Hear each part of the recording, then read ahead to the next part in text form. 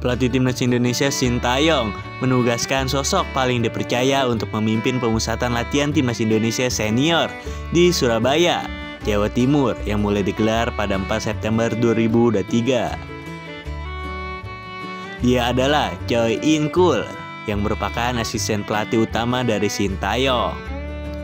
Choi In Kul dianggap sudah memahami apa yang diinginkan oleh Sintayong Agenda training center timnas Indonesia ini digelar guna menata FIFA Match Day September 2023 kontra Turkmenistan. Laga antara timnas Indonesia versus Turkmenistan berlangsung di Stadion Gelora Bung Tomo, Surabaya. Dari sisi peringkat FIFA, timnas Indonesia berada di bawah di bawah dari Turkmenistan. Timnas Indonesia kini menempati posisi ke-150 sedangkan Turkmenistan menduduki urutan 138.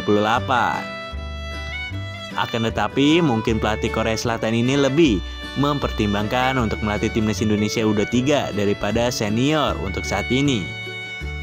Karena kita ketahui jika timnas Indonesia U23 lolos ke Piala Asia, tentu bisa memperbagus karirnya si Sintayong saat melatih timnas Indonesia.